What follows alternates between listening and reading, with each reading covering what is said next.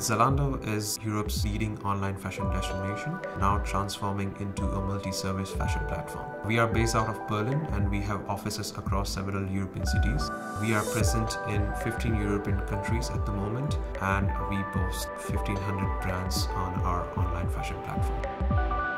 70% of our site traffic comes via mobile devices. So we are innovating the mobile experience for our users further and further. We launched photo search as well as barcode scanner to bridge this gap between online and offline fashion worlds.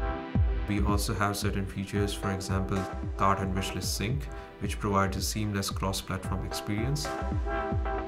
The high quality app experience can make or break the customer journey. We invested a lot to improve user experience and the app quality for our Android apps. We saw around 6% increase on a monthly basis last year in our app installs. We get around 40% of our Android app installs via organic traffic. We also saw increase in our lifetime value, which we measure by revenue per user, we saw 15% increase on a quarterly basis last quarter. We have been working in several fronts to improve app quality. We did a huge refactor in order to have clean architecture and strengthen technical foundation. We also add more and more test automation as well as a regression test to be sure that the app quality is intact on every release.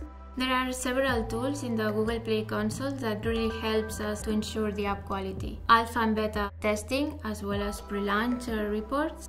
The new release dashboard is a powerful tool which improves the app distribution. It gives us early data with a bunch of metrics as an upgrades, uh, crashes, ratings that helps us to monitoring our app very closely. Since we improve quality, we decrease the app start time by around 30% and we reduce the daily average crashes by up to 90%. Regarding ratings, we improved from 4.3 to 4.4, which indicates that uh, user satisfaction is growing. We have invested a lot in developing great customer experience in our Android apps and we have achieved many great milestones out of it. As a product manager, this motivates me to deliver great mobile experience for our Android users.